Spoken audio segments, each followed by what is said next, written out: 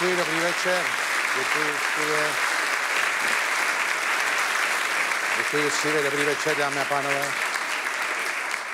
Musím vám říct, já sleduju samozřejmě s určitým zaujetím eh, situaci v Polsku, kde teda ta hysterická pravice se zmocnila nejen ústavního soudu, ale i veřejnoprávní televize. Sleduju to taky proto, že nejen v televizi pracuji, když v soukromí, ale jak si možná někteří pamatujete, u nás se dělo něco podobného před 15 lety a e, myslím si, že by to mohlo dopadnout stejně katastrofálně jako dneska v Polsku, tehdy před 15 lety v Česku.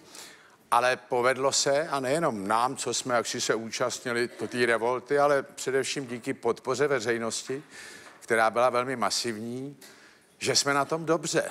A když říkám dobře, eh, tak to není můj výmysl, ale podle posledního indexu svobody médií, který dělají eh, organizace Reportéři bez hranic a dělají ho docela eh, fundovaně podle, podle sedmi takových parametrů, který sbírají z celého světa, tak bych, no to je prosím vás Zora. Ta tady zůstala od minulého natáčení a vzala ten pořad za svůj, čili ale televize Prima nám dala šanci oběma, prej kdo se víc prosadí, no tak uvidíme, jak to bude. Ale chtěl jsem dopovědět, že podle toho indexu svobody médií celosvětového jsme, dámy a pánové, jedenáctí na světě, jak si od zhora s nevím, ze 150 států. A v Evropě dokonce devátí nejlepší.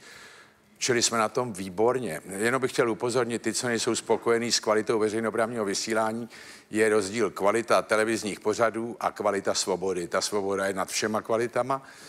E, takže si to hlídejme vašme si toho a zároveň bych chtěl říct, že jak vidíte, nejsme na tom ve všem bledě a dokonce tohle je jeden z nejdůležitějších parametrů demokracie vůbec. Pokud jde tady uh, o tu Zoru, Eh, bude-li výrazně rušit, nevím, co se tu odehraje, ale já jsem zatím připravený se prosadit sám, i když ona taky dělá maximum.